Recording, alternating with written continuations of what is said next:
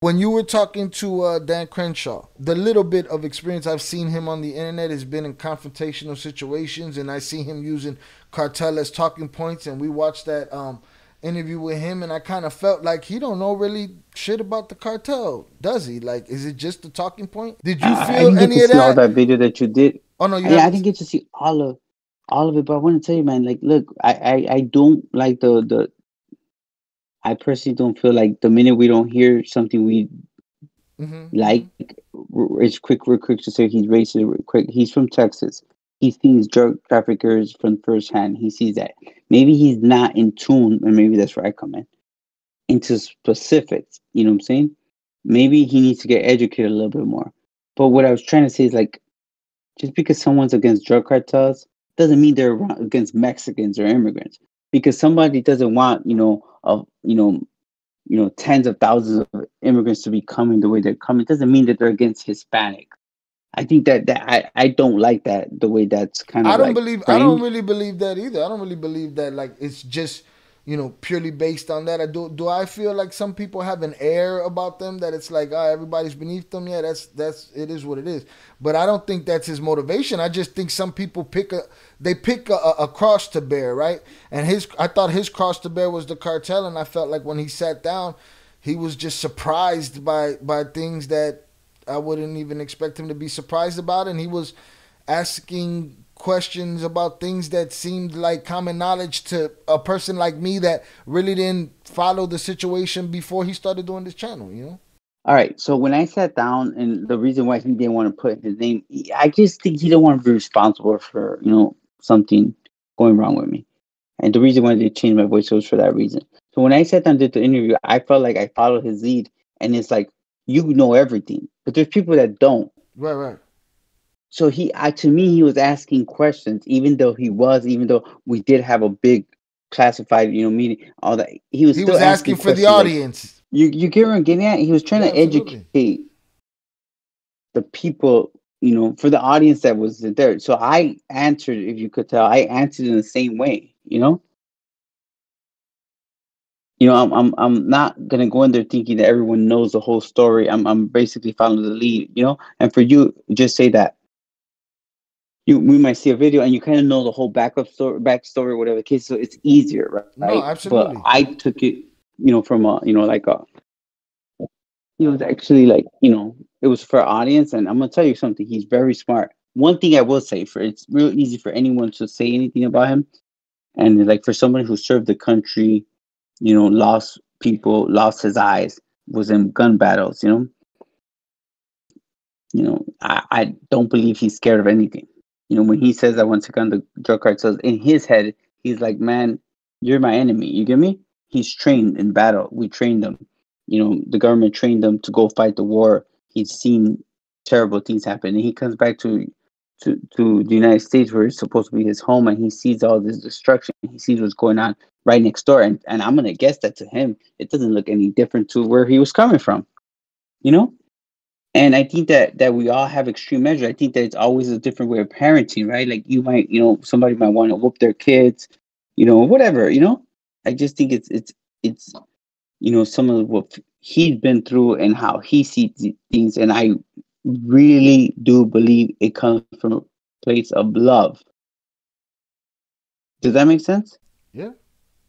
the I love mean, of yeah, the that- country. And he's like you know what? If that's what you got like from f it, your feelings f your feelings f everyone's feelings you get me? Like like we have to do something different you know? You know and i think that that that that's what it is you know? Buddy, threw, threw, threw the death penalty in the air. You know no what i think you know he's looking for answers so we talked about you know deterrence deterrence what's going to stop young people from out there from Now you doing this it kind of stuff to him. you know the threat of death. What does that mean in the eyes of gotta do what I gotta do? Well, oh, I would tell you something. You know, for me, I would say, yeah, put more punishment on those violent crimes. What are your? I mean, just let's just go. What's your thoughts on that?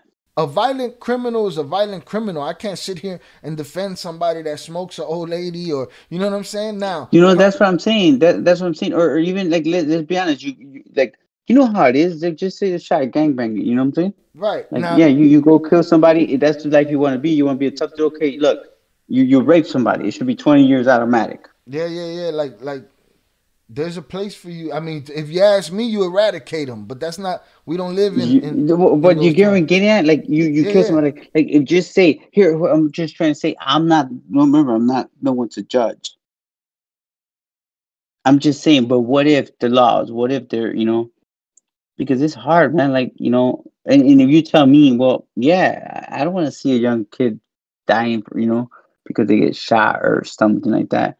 But one thing you know that did change is like when when the laws got hard, you know, it did change the landscape of you know of the United States, right? In some places, in some places it didn't. You know, just so there's different things. But I'm not against it. And like, who would be against? You know, I just think with the You know, culture the could- way it is right now, you could threaten these kids with double life, and they're gonna go off. but you know what? It, then it comes. It, it, it comes. You smoke know, I'm gonna tell you. A hard head makes for a soft ass, right? Then guess what? Bet you try to tell them that's why there are gonna be people like me. There are gonna be people like you, or right now what what what other people are doing with different. They're, for those people who are really mean it, who really are trying to say, "Hey, yo, young kids in every criminal, stop it, don't do it." You get me? Who are trying to lead you in the right way? You know, I, I like I said, listen to the other uh, podcast earlier. We talk about Berto. You know, locked up since he was 18, did 18 years. You know what I'm saying? Like like man, he was a kid when he came out. You know, a kid when he went in. You know, it's just, and you think about that. He's like, look, this is something you shouldn't do. So you think about that. You know, man. You know, why not? You know, why not be? You know, uh, save a life by, you know, being real hard on those violent criminals so that they don't, you know, go kill somebody for twenty dollars at the 7-Eleven. You know what I'm saying? No, no, just my my belief, you know. No, you see, but here, like Chucky, I think it's society's gonna tell you better jobs for the streets. I think it starts with us getting educated and what you know it requires. Like, man, there's schools all over our neighborhoods, right? You know, and let's be honest. I don't care what neighborhood you are, man. Chi, you you from the north side, I'm from the south side. Let, let's be honest, bro. Little village, man, it has fucking this what 5,000, 8,000, 10,000 gang members. Little Village has a community of what, maybe 130, 140,000 people. They're not all bad. I know a lot of people went got their education. They're not the got the best jobs, but they got education. You go, not everyone's gonna, you know, have a you know two million dollar a year job. You know what I'm saying? You have to work for that, but there is there is chances. You know what I'm saying? Like what do you think about that, Chi? Right? Some of those just choose to go to the street. Some of those don't have a chance. Like they, that's true. But I think when people say, "Well, how about better jobs?" Like, Well, man, here's the thing: you'll everywhere. see you'll see every type of different person. You'll see the kid that had no choice but to hit the street. Right? I've seen that kid come up out of that shit, get a job, live a life, have a family. I've seen the kid that could have gone the easy route, go the hard route, yeah, they'll go the hard route. Yeah, not get out. Some Hey. of them got out too, but it, it's like it's uh, it's the person that you are hey. that makes the difference. What you got inside you that makes the difference. yeah, yeah. Hey, no, no, you're getting the story wrong. What story? Oh, Uh, tell us the story not right. getting- Um, they got it mistaken for Arturo's people because they thought that Arturo's people did business with them, people that Edgar was actually speaking to, you know. But it wasn't Arturo, but it was Macho Prieto's people.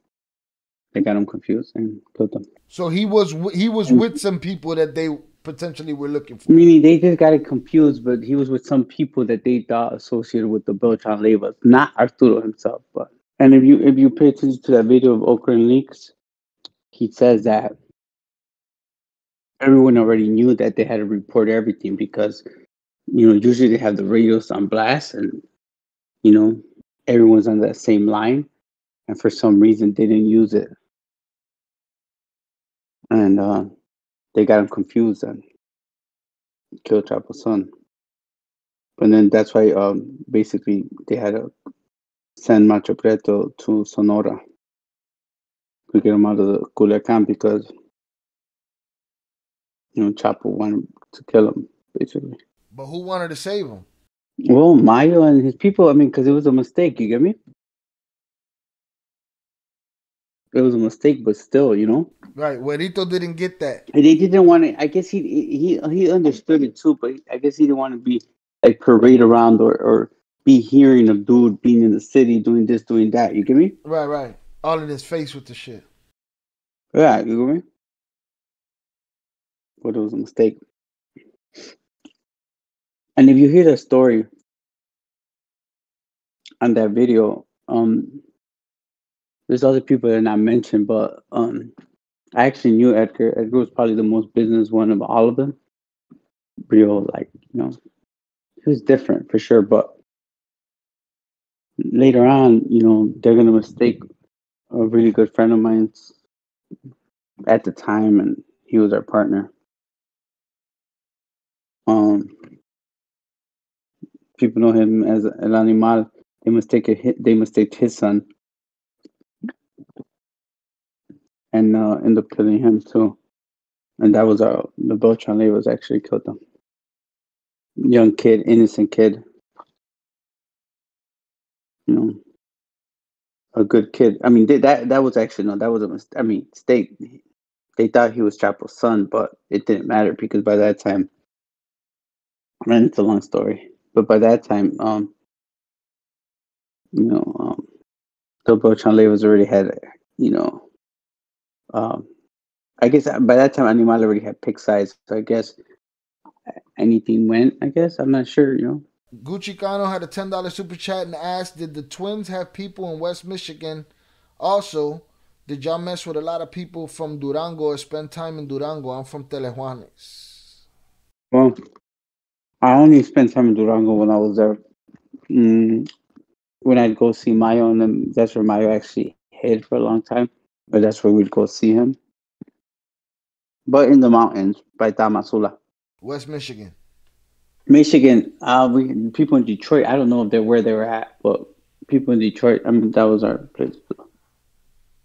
What's the best legal business to get into, in their opinion? Chief Keef been trying to get that question out for like two months, and it always falls through the cracks. So I'm glad you're here. mm. Well, that's. I mean, you're saying like like it's just a legal business, right? Like something to do legal. I don't know. Like it, my opinion is gonna be biased, you know because of course I like logistics. So I'm into whatever you could grow volume wise, you know. I like logistics because to me anyway, you know, uh, you could grow it, you know, it's one truck or 10 trucks or 30 trucks or 40 trucks. I mean, you know, and, and, and you could do multiple streamings, right? At one time, I'm more, you know, I mean, that's my opinion, my personal opinion. Um, I guess there's just like there's so many different opportunities, you know. It all depends on what you're into because I, I like for instance, you know, I know that I I feel like I could get into any business. Like me myself, like I could see like right now if there's a need, like like I'm not into restaurants, but if there's a need, you know, for the right, you know, where it's needed, I feel like anytime you have that demand, there's a lot of kind of businesses, right? Kelly Price been asking, and, and we answered this with Maya earlier, um, but he's been asking about if you seen uh, if you seen people doing devil worship or heard about mm-hmm. them doing weird shit like that. He's back. here. Yeah, yeah, yeah. That was common, but I don't know. I, I I've heard about it, but like to us, it's like I don't know. I just feel like it's almost like like people like the media takes like what they hear one person doing and they kind of run with it. You know what I'm talking about? I didn't see like no fucking drug dealers doing that. I don't know. I heard of people like you know. I think it's, it's, it's, it's, it's a sensationalized thing, but again, you could tell them exactly what it is, and if it isn't what they imagined in their head, it won't be right. You know. I think it goes back to some of the things. stories you heard, like just say like the killers or the people, and you know, mm-hmm. bro, it's like it's different. I try to explain that it's not like not everybody's a cartel, bro. You know, it's like if they pick up a pistolero somewhere doing some fucking devilish shit because he's got devil in his mind, you know what I'm saying? Because he's a killer, you know what I'm saying? Doing that kind of stuff, and the next thing you know, it gets passed on that everyone does it, which is bullshit, you know. I do see a lot of Santeria, like you I came across a lot of those dudes that go to Cuba and get those cleansing. What do you call those things? Yeah, the limpieza, but they do the whole thing? You get me? Where they wear white for whatever a whole Mm, year. Yeah, I don't know what it's called. I'm sure somebody in the chat can help. You know what I'm talking about? They do all that. I did. that. I did see a lot of that that they put on the certain collares, but I think that that's all goes back to what they believe to be kind of like energy and golly or whatever. You know, I want to make it clear. Mm. Bro, Albert, Flores, it bro, it's contrary to what you believe. Like when I see that that Chapo really tough, bro, Chapo didn't give a fuck about Barbie. Like it's kind of like, like it's just weird because it's just like it almost sounds good, but from my understanding, Barbie Barbie kind of confessed that he's the one that told on him. Remember through the letters she sent to the president. So did you? I mean, that's a good story. You guys pick up. He sent letters to the president, and then he did an interview with Anabel Hernandez or something. He states how Arturo used to be, you know, go crazy. Damn, I just remember about a story, but Arturo used to go crazy and then would want to kill him at times, and Barbie was scared of him because he was like, like really high on drugs and he was going crazy because you know, he was at Yeah. war. No, I was just talking about how crazy that is. How you got to worry about the people that you're around fucking wilding out all the time and shit.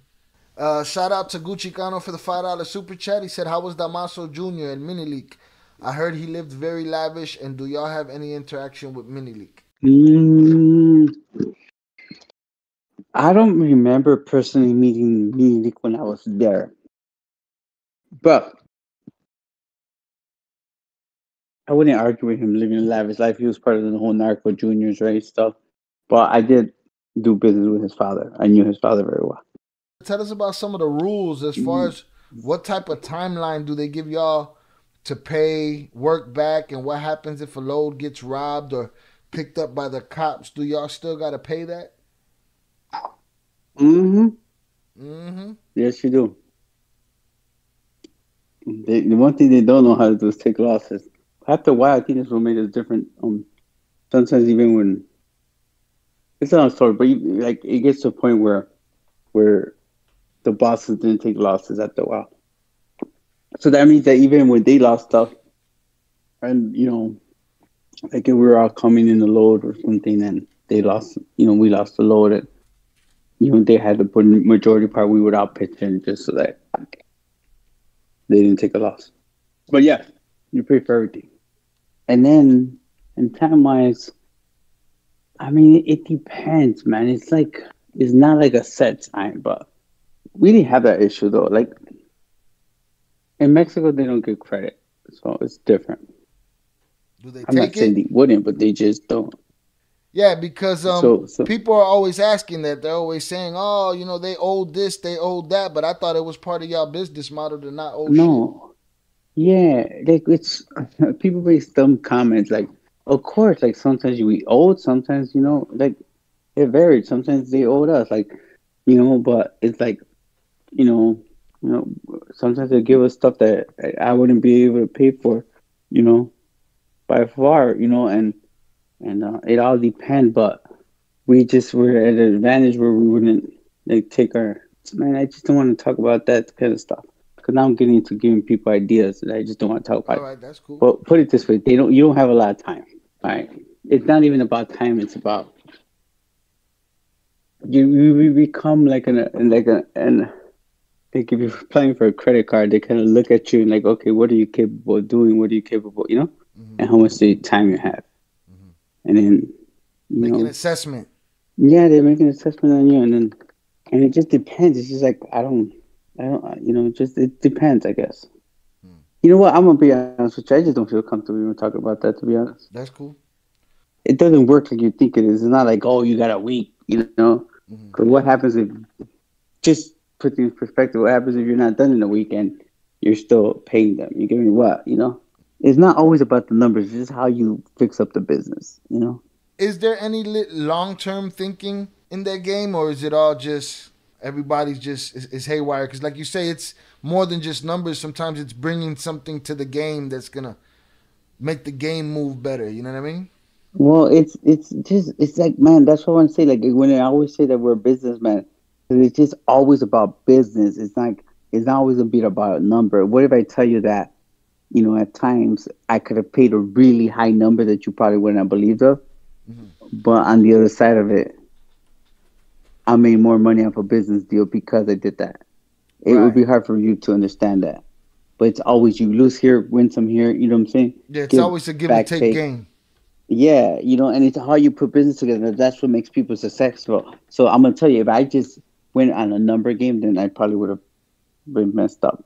With how you get in, how you you know you get in where you fit in, how you're able to you know put business deals together. You know what I'm saying? Mm-hmm. It that was my man. He's my good friend, man. I have much respect for him. I did ten years with him. Uh, man, I and I have so many memories with him. Uh, he was a really good friend, man. I had some real hard times where he was there for me, you know. Um, it's weird because I think that he always took back and he would be like, man, um, he was always uh, taking back that I could be emotional and not care, you know. I remember, I you know, I had you know some family drama, and I got a little emotional. And I remember him telling me, and he told me in Spanish, like, no way, para que no te miren así, way. You know, like you know, like for me to hide or something. I'm like, man, give a fuck. And then he always told me after that that he looked, you know, he just like looked at me in a different way. Like he he respected that I just didn't care, you know. Right.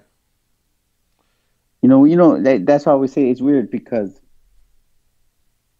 because uh, I know people be thinking like I know in prison is prison no matter where you're at like, and I know there's some real hard dudes and stuff, but one thing you can't like a real man, real people are gonna respect you know real feelings, and I think that you know it's weird. He he was a certain way, and I understood it, and and uh, vice versa. But I think that I did in a weird way, kind of like teaching him. I kind of taught him a lot about you know being able to accept other things of you know you know life. I think. Did you meet him in the joint, El Tigrillo? You you knew Buddy? No, yeah, I met him. I met him in there. I mean, I knew who he was, but I, I met him right, while right. I was in there. I actually, um, I want to see that. Put it this way: he started playing basketball because of me, you know. and at that time, you know, I'm always been like a three point shooter, and I would, you know, always like teach a man that he got good. He actually could play. He got good. Like he wasn't. He he wouldn't dribble, but he was a hustler. He was fast. When I talk about, he was fast, yo. Mm-hmm. He was like, you know, and he played defense and did all that. Like, but he also started a lot of issues. he didn't understand like the American way, the way we play. You know how it is, right? Like, mm-hmm. like you know, someone hits you probably hard or something. You get me? Mm-hmm. You know? Yeah, yeah. Like yeah. you know how it is. County ball. You, you, like, huh? County ball. Yeah, like county ball. Just say like what he didn't understand. All right, just say that we were tired, or or just say like not okay. Not just say, just say uh, just say that we the game needed to calm down or something because whatever. And he he didn't understand when you know someone would go up to someone and just smack them. You get me? To stop the ball, and right. he didn't understand that. So right, he right. would get like he, he to him that was offensive. Like what the fuck, you know? It started a war. Oh my god, yo, you understand, yo? You know how many times I had to actually just, yeah, man.